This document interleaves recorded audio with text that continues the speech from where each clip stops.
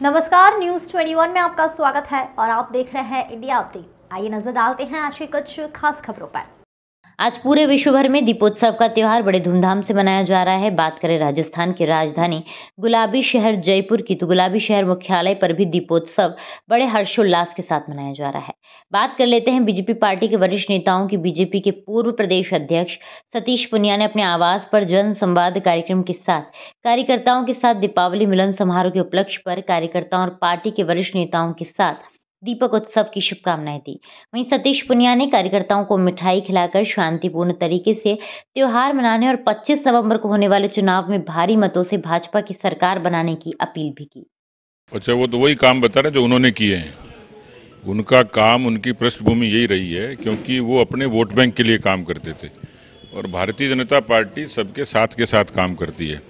Bharatiya Janata party का तो ऐसा इतिहास रहा नहीं है।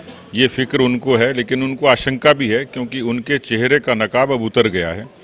वो जिस धर्मनिरपेक्षता की बात करते थे, उस धर्मनिरपेक्षता के पीछे बहुसंख्यक लोगों का दमन था, उनके मानवाधिकारों का हनन था, और इसलिए यदि हम सनातन की बात करते हैं, हम हिंदू की बात करते हैं, हम राष्ट्रवाद की बात करते हैं, उनके पेट में दर्द होता है, क्योंकि हिंदुस्तान का बहुसंख्यक समाज अब देश के एजेंडे पे बात करता है, वो जाति पाति पर बात नहीं करता, नेशनल एजेंडे पे, नेशनल इश्यूज़ पर बात करता है। राम मंदिर जब बनता है तो उसको आनंद होता है 370 हटती है तो आनंद होता है, तिरंगे का मान होता है तो उसको आनंद होता है। इसलिए अशोक गहलोत जी को ये फ़िक्र है कि वो जो सो कॉल्ड उनका वोट बैंक था वो बिखर गया, वो आस्था के साथ में, सनातन के साथ ध्रुवीकरण हो गया उसका, और इसलिए उनको आशंका है कि इस बार उनकी ऐतिहासिक हार होगी और उस हार की आशंका के चलते वो इस तरीके की बातें करते हैं।